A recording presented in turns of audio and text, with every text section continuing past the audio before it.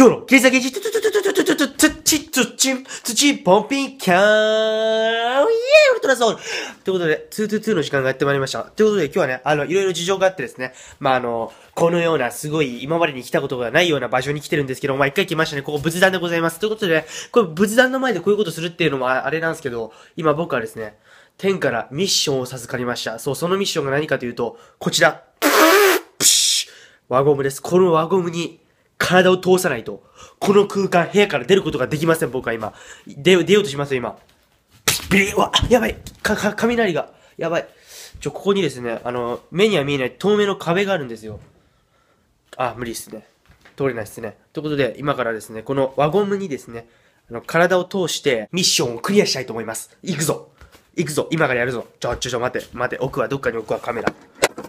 まあ、パパと通って、まあ、あの、このミッションを全クリして、この部屋から脱出しましょう。うん。いて、あ、これ余裕だわ、結構。俺細いからさ、あの、ちょ、太ってる人はきついかもしんないけど、俺みたいな、あの、ガリガリの、もやし人間なら、結構楽勝ですね。いった失敗した